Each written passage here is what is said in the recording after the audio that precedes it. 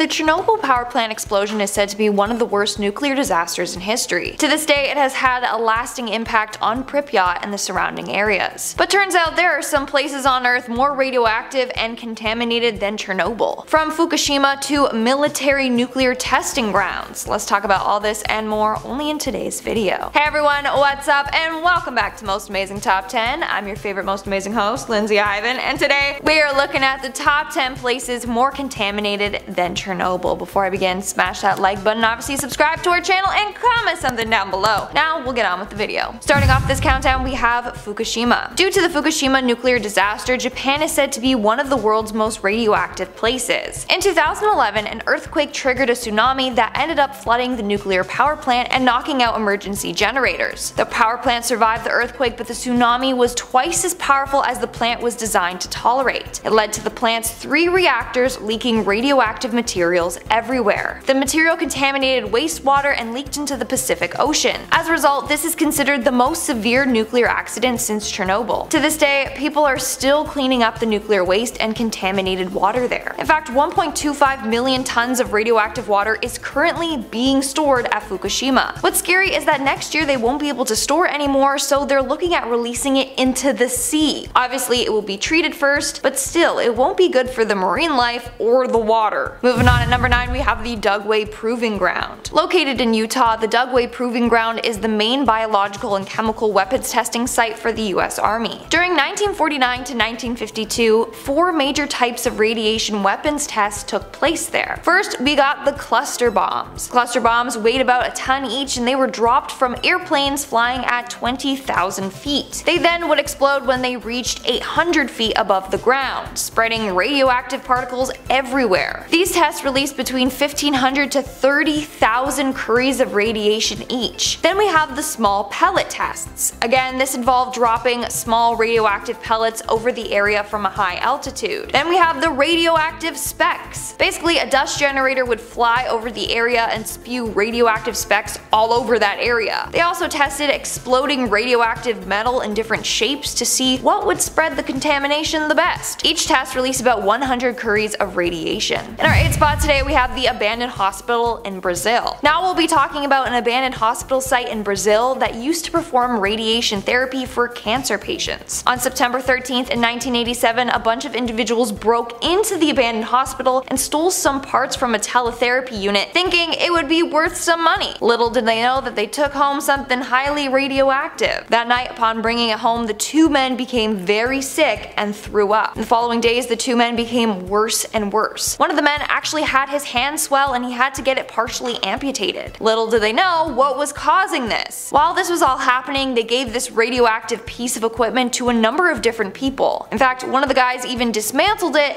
spreading cesium all over a large area. In the end, four people died as a result of this incident and 250 others were injured from exposure to radioactive contamination. A cleanup crew was sent to decontaminate the area. Topsoil was removed in several areas and a number of houses were demolished. To this day it's said to be one of the world's worst nuclear disasters and one of the world's worst radiological incident. In our 7th spot we have Hanford Site. Located in Washington DC, the Hanford Site is said to be one of the world's most radioactive places. So during the Cold War the US used this site as its main plutonium production facility for their nuclear weapons. In the end they produced enough plutonium for around 60,000 nuclear weapons, including the plutonium that was used in the Fat Man bomb that was dropped on Nagasaki Nagasaki in 1945. Now this place has since been decommissioned, but still contains about 60% of high-level radioactive waste. Most of the waste has been buried underground, but that wasn't a good decision because large areas of groundwater have since become contaminated. Coming in at number 6 we have d'Aubervilliers, Paris. During the 1920s to 1930s, two individuals, Frederick and Irene Joliot Curie, conducted a number of studies on radioactivity in this area. In particular, they were experimenting with salts of radium 226. Later on, the French army took over these experiments, and they seriously contaminated the fort. In the 1990s, 61 barrels of cesium-137 and radium-226 were found stored there, as well as about 160,000 gallons of contaminated soil. Over the years, they have tried to decontaminate the area, but in 2006, more contaminated areas were uncovered. People in the area were being exposed to radioactivity and they didn't even know it. In fact, a high high percentage of people living in the surrounding area were found to have cancer. Although they deny that this site has anything to do with it, it seems quite obvious that it does. We are now at our fifth and halfway mark with Enewetak Island. This island is part of the Marshall Islands in the Pacific Ocean. In 1946 up until 1958, the US government conducted 67 nuclear tests in the Marshall Islands. In 1951, the first ever hydrogen bomb was tested there. As a result, a number of atolls got contaminated, including Enewetak. In fact, it's said that the Marshall Islands to this day are still more radioactive than Chernobyl and Fukushima. Isn't that insane? So when testing the soil, researchers found that the island had toxic levels 10 to 1000 times higher than the soil in Fukushima, and it's about 10 times more toxic than the soil found in Chernobyl. On top of that, the government said that this is a cause for great concern. The US government had to relocate an entire population because it was exposing them to cancer and other illnesses due to the radiation. But people still live there despite this huge concern. In 1980, hundreds of people gathered on this island and participated in a radioactive cleanup, but still, the levels on this island are highly unsafe. Coming in at number 4 we have Rongelap Atoll. Surprise surprise, another dangerously radioactive atoll located on the Marshall Islands. Researchers have found that this island has the highest levels of external gamma radiation than all of the islands they examined in the study. Soil samples from the area also exposed that they have high concentrations of radioactive isotopes. Not only that, but researchers also found that the fruits on the islands contained more cesium-137 than is permitted by safety standards. And some of the islands also contained more cesium-137 than Chernobyl ever had. In our third spot today, we have Sellafield, United Kingdom. This is another place that has been given the name one of the world's most radioactive places. Back in the day, during the Cold War, Sellafield was the site where weapon-grade nuclear materials were produced for the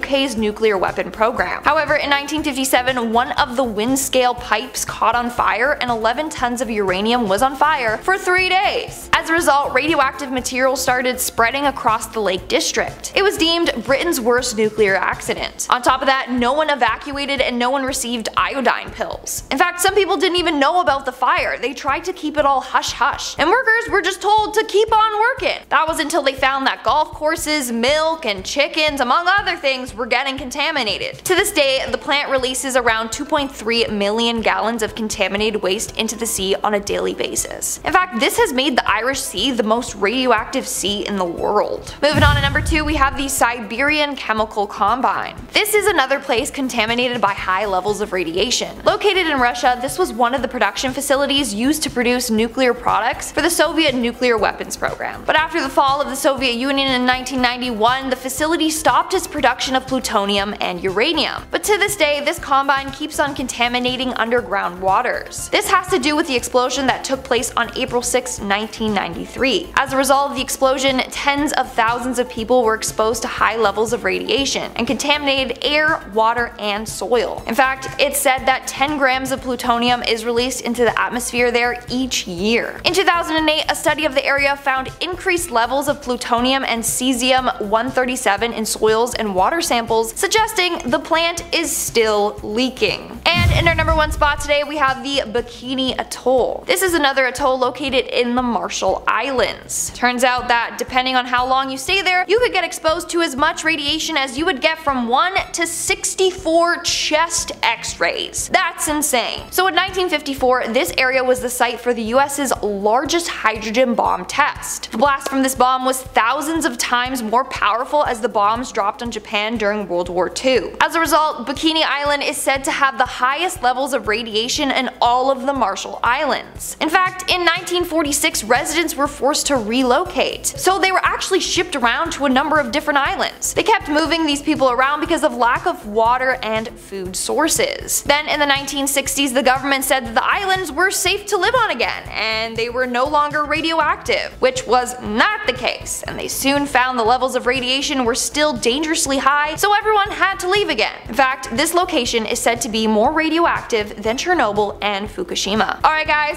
that's all for today's video. Let's move on to our comment shoutout portion. I'll be shouting out comments from the video. Top 10 terrifying signals from space that should have been kept a secret part 3. Chris Bowes commented, love the NSYNC shirt. LOL, their album No Strings Attached was the very first album I owned. It was the first album that I owned too, and I stole it from my brother, and then my cousin stole it from me, and now I don't know where it is. Luke Moore commented, Lindsay, I love the work you and your team do. Can't get enough. I would love a shout out in your next video. If not, it's okay. Keep up the good work. Best wishes for you and your team. Well, Luke Moore, here you go. Here's your shout out. I love the comment. Um, you're super sweet. I love it, and I love the support. Thank you. Comrade Bear commented, we can just rename this video Weird Space ASMR. Dude, I feel like I should do a reaction to that. Somebody needs to compile it all together and I'll react to it. Someone do it. I'll do it. Alright guys, that's all the comments I'm shouting out for today's video. Make sure to comment something down below for a chance to be featured in my next comment shout out. And as always, don't forget to give this video a big thumbs up and subscribe to Most Amazing Top 10 for more amazing videos. I've been your host, Lindsay Ivan, and I'll see you when I see ya.